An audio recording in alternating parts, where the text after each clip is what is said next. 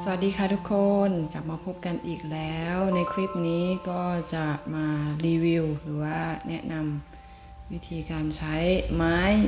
กดเท้า ไม้นวดเท้า ไม้กัวซาเท้า แล้วก็สามารถกัวซามือได้ด้วย ลักษณะก็จะเป็นลักษณะนี้การจับ การกดก็จะไม่ลื่น เวลาที่เรากดจุดหรือว่าใช้ไม้นวด ถึงขั้นตอนการใช้ไม้นวดเท้า มันก็จะไม่ลื่น คือมันจะอยู่ล็อกมือของเรานั่นเอง แล้วก็จะไม่เคืองหรือว่าไม่ทำให้ลูกค้าเจ็บ ก็เหมือนไม้นวดเท้าปกติ แต่ว่ามันจะมีที่จับที่เกี่ยวนั่นเอง น้ำหนักก็จะลงได้มากขึ้น สะดวกขึ้น ในการสาธิตนี้วันก็จะเป็นขั้นตอนการใช้ไม้ใช้ไม้กดจุดแล้วก็กัวซาให้ดูขั้นตอนสุดท้ายนั่นเอง มาเราก็จะมาเริ่มกันเลย เริ่มจากจะเป็นการทาออยก่อน เพราะว่าเวลาเรานวดเท้าจะเป็นครีมหรือว่าออยนวดเท้าอยู่แล้ว ขั้นตอนการนวดด้วยมือ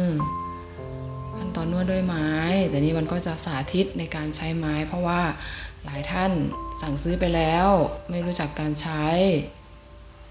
ก็บอกว่ารีวิวการใช้ให้หน่อยว่าใช้อย่างไรบ้าง ก็จะใช้แบบ เหมือนที่เราใช้ไม้ตรง แต่ว่านี่คือจะมีล็อกจับล็อกมือ มันจะกดน้ำหนักได้นิ่งกว่าดีกว่า ไม่ลื่นไม่ไหลนั่นเองขั้นตอนการใช้ไม้ก็เป็นลักษณะนี้เลย วิธีจับถ้าเป็นปลายไม้มันก็จะเข้าล็อกตรงนิ้วโป้ง เราสามารถกดใส่ได้เพิ่มน้ำหนักได้ นอนไม้ เหมือนกันกับการใช้ไม้ตรง แต่ว่าจะต่างกันตรงที่เห็นไหม มันจะมีล็อกให้เราผลักใส่น้ำหนักหรือว่านี่ลงไป มันจะสามารถจับได้พลิกแพลงได้ ง่ายๆ นั่นเองเห็นไหมถ้าจับเวลาที่เรากดท่านี้ ถ้าไม้ตรงบางทีมันก็ลื่นมันก็ลื่นเหมือนกัน แต่ถ้าเป็นไม้นี้ก็คือมันก็จะล็อกน้ำหนักตรงคงที่นั่นเอง วิธีจับ ก็จะให้ดูวิธีจับอย่างชัดเจนช้าๆเรื่อยๆ แบบนี้เลยเห็นไหมตรงนิ้วโป้ง เราก็จะล็อก ลักษณะนี้ไม่ว่าจะเป็นหัวไม้ที่เป็นแบนท้ายไม้ที่เป็นกลมๆก็คือเอาไว้ใช้แบบนี้กดจุดก็จะใช้ฝั่งนี้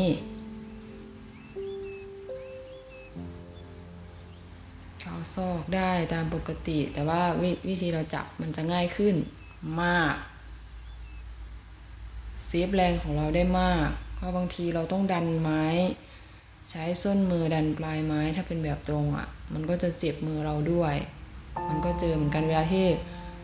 เราใส่ครีมหรือว่าใส่ออยแล้วมันลื่น ไม้มันจะลื่นไม้มันจะพามือเราลื่น น้ำหนักไม่คงที่ เป็นฝั่งนี้ก็จะใช้ล็อกในลักษณะนี้ก็ครูด ทิ้งน้ำหนักได้คงที่ดี ลูกค้าก็ไม่เจ็บ เพราะว่าเราก็ใช้ในทิศทางที่เรียบอยู่แล้ว ทิศทางที่เราล็อกเนี่ยเราจะไว้ใช้ล็อกนิ้วโป้ง หรือว่าล็อกตอนจับกลับด้านนั่นเองในลักษณะนี้นี่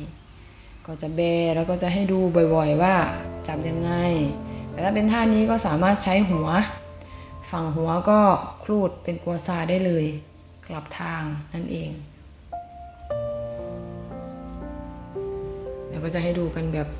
เรื่อยๆแล้วก็จะอธิบายเป็นระยะไป แล้วกันเนาะส่วนใครที่ซื้อกับเราไปแล้วก็สามารถปรับใช้หรือว่าฝึกใช้ได้เลย ใครที่สนใจ ที่จะสั่งหรือว่าจะนำไปใช้ก็สามารถสั่งแอดไลน์เข้ามาสอบถามกับเราได้ ถ้าซื้อ 1 ชิ้นก็จะอยู่ที่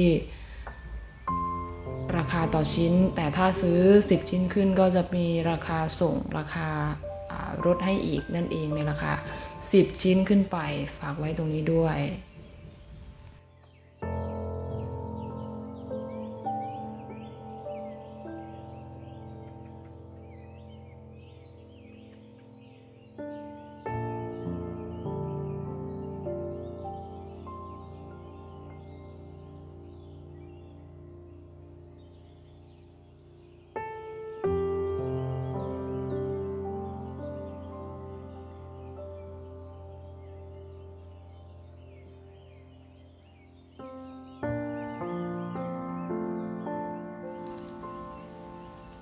จะถึง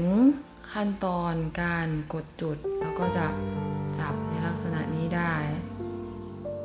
จับแล้วก็กดมันสามารถเน้นลงน้ำหนักแช่ไว้ได้เลย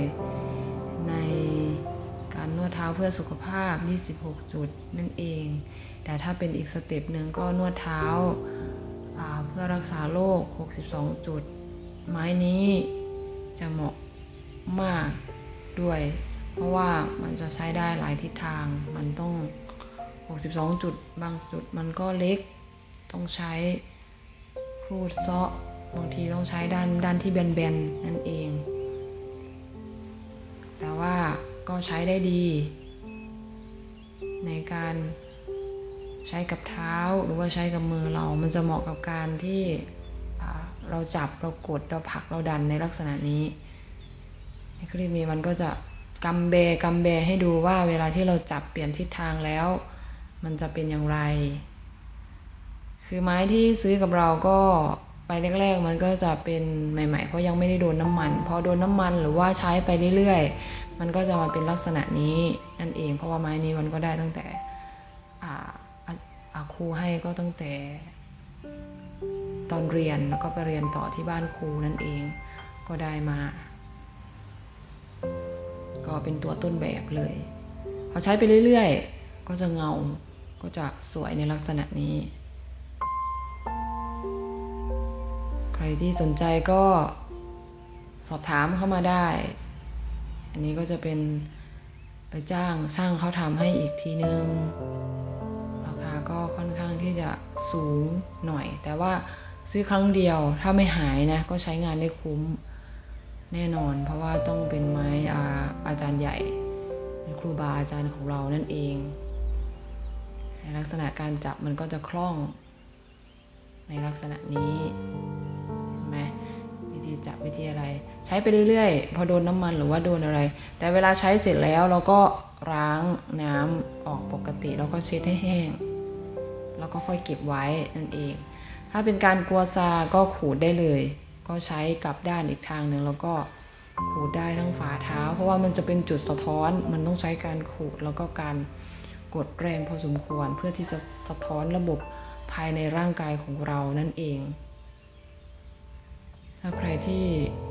เรียนไปถึง 62 จุดในการรักษาโรคอันนี้ก็จะเข้าใจง่ายขึ้นมีใช้ขูดได้ขูดเลยลูกค้าเจ็บไหมเจ็บ เจ็บแต่ว่ามันสะท้อนเข้าไปในร่างกาย แทบจะ ไม่อยากให้ขูดเลย แต่ถ้าขูดแล้วผ่านระยะหนึ่งห้าถึงสิบวิแล้ว มันก็จะโล่งทั้งร่างกาย โล่งดีต้องใช้คู่กับการนวด ร่างกายด้วย นั่นเองสเต็ปที่ดีขึ้น แล้วจะให้ดีมากกว่านั้นคือลูกค้าต้องผู้ที่ถูกนวดก็ต้องหมั่นออกกำลังกายควบคู่กับการนวดทำให้สุขภาพร่างกายแข็งแรงดีเพิ่มขึ้นไปนั่นเอง แม้กระทั่งหมอนวดของเรา หมอนวดอย่างเรา เราทำงานนวด ก็ต้องนวดออกแล้วก็